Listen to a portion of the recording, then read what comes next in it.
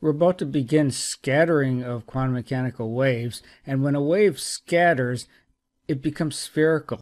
It's always plausible to consider an incoming plane wave, but once that plane wave arrives at a scattering center, the outgoing wave is going to have spherical components to it. So I'll begin by sketching the plane wave. We'll consider propagation along the z-axis.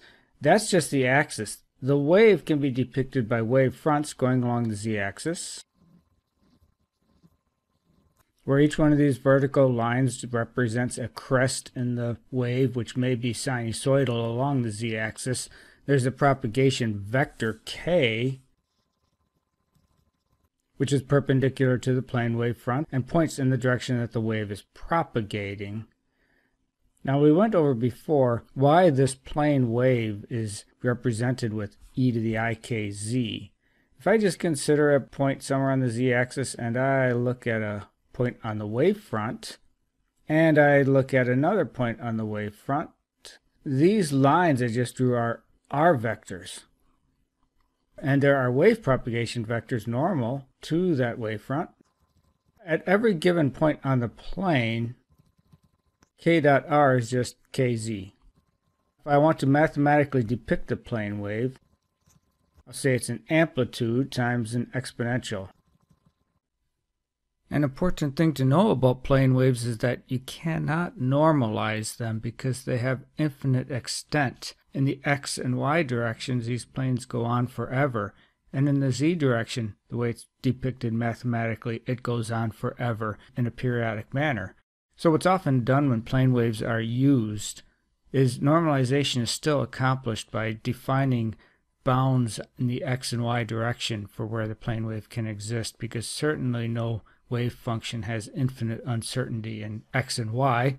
And then in the z direction, a periodic potential is usually incorporated, so you have periodic boundary conditions. Then you can normalize it, in which case it's a volume normalization and the dimensions of psi sub 0 will be 1 divided by length to the 3 halves.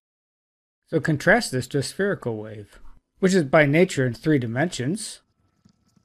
After all, it's a sphere, and when you consider a spherical wave, you have a source. Just make it that green point there. Waves emanate from that source as spheres.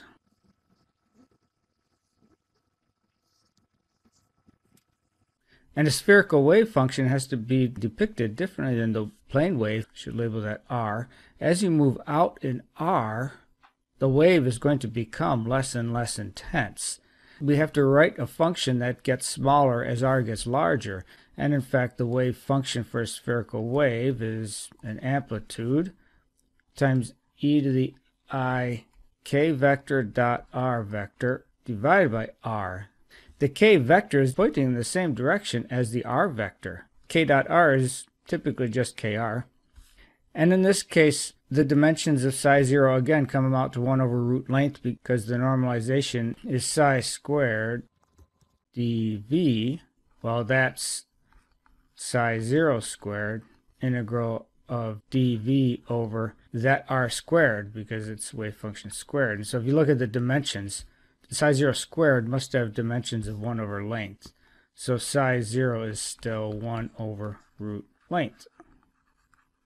And just as a by the way, if you wrote this in two dimensions, so that these aren't spherical waves, they're just circular waves, like water ripples in a pond going out. In two dimensions, uh, you would have to write psi is psi 0 e to the i k dot r over the square root of r just as a curiosity, but we're going to do three-dimensional problems. Plane waves and spherical waves are clearly depicted differently mathematically, e to the ikz versus e to the ik dot r over r. It's going to be important in our analysis to be able to write them in terms of expansions of each other. What makes it so important is that in a scattering problem, you have a scattering center, along comes a plane wave, and it scatters, giving you a spherical wave, and the original plane wave. And so the scattered state has both plane wave and spherical waves. You have to add them together. It's a lot less awkward to add them together if one of these two waveforms is expanded in the function space of the other one. What we're going to do is expand the plane wave in spherical waves using Rayleigh's formula, so useful both in optics and in quantum mechanics. So a plane wave can be expanded in Legendre polynomials using the combination of Legendre polynomials and spherical Bessel functions. I recommend that you go back to Griffiths section 4.1 and review the spherical Bessel functions. They are presented in the example in that section on the spherical potential well.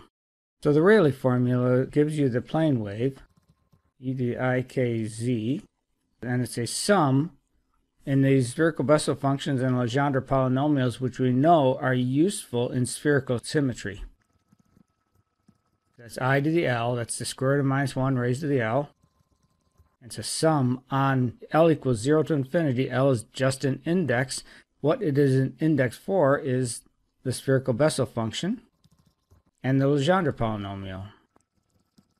And you can find these two functions in tables 4.1 and 4.4. So this will be an important relation for us because it allows plane wave and spherical waves to be meaningfully combined into one formula.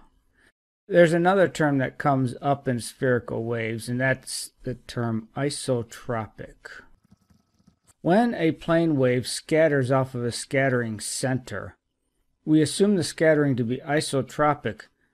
Isotropic means everything is the same in all dimensions. So for example, a speaker might emit sound waves isotropically, the same in all dimensions, or maybe the speaker is shaped like a waveguide so that it's stronger in, in one direction, therefore it's you know directional, not isotropic.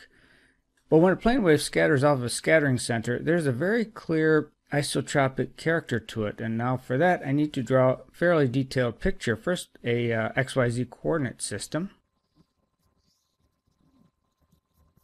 And I'll put a scattering center at the origin.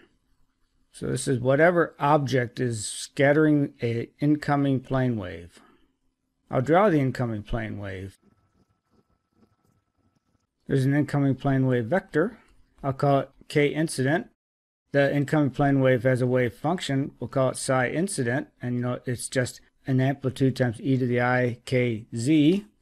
And then it hits the scattering center a lot of this plane wave just blows right by, right? It's maybe far away from the scattering center, and so you get plane wave continuing. I'll draw it lightly here. Perhaps a little bit weaker or a lot weaker, depending on how much of that plane wave becomes spherical wave on account of the scattering.